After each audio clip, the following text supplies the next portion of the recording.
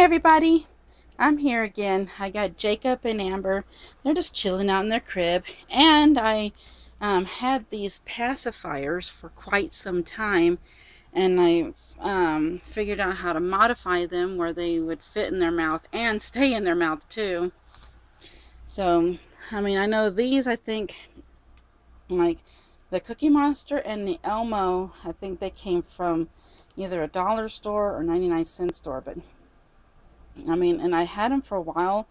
I just never bothered to cut them or modify them in any way because I was afraid that I would mess it up.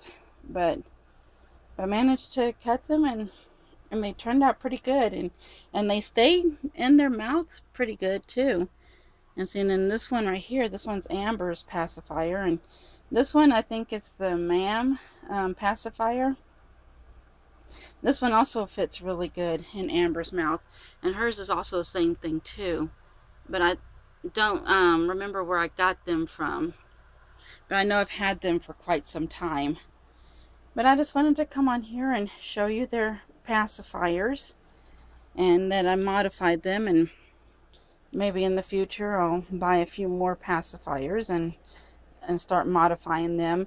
I'm not going to use um, like putty or anything like that because I know the putty it will um, it will ruin their paint you know from on their lips and their mouths and stuff.